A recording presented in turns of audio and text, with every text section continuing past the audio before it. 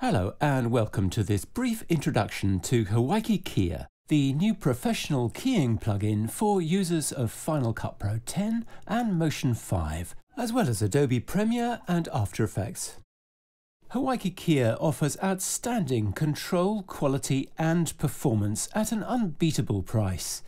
With advanced GPU accelerated performance and a host of professional quality tools, Hawaiki Keyer offers some unique and powerful features that you simply won't find in any other keyer.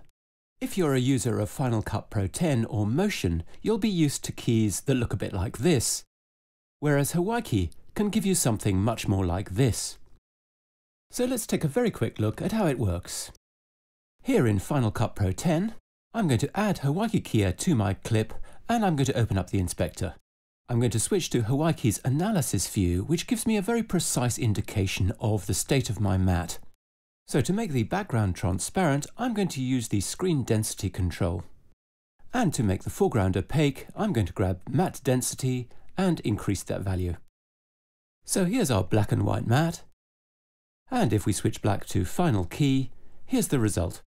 Hawaiki Keyer's got an incredible range of tools for refining the matte, so you should always be able to come up with a really great looking edge.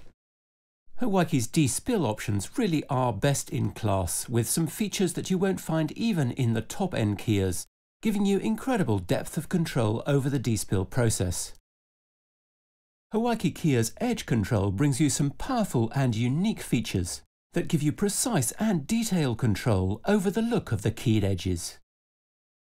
Now let's look at light wrap. I'll click on the image well here to add my background. We'll look at the light wrap view to assess the status of the light wrap, and we'll look at the result. To put the finishing touches to this composite, we can access the color correction section and make the appropriate adjustments to sit the foreground back into the scene. And the secondary matte options give you powerful options for control over the exterior of the matte as well as the option to solidify the core. So I've only been able to show you a tiny fraction of what Hawaiki Keyer can do in this brief introduction, but do check out the extended tutorial for a lot more detail on how it all works. Hawaiki Keyer is available exclusively through FxFactory, which means you can download a free trial version and try it out for yourself right now.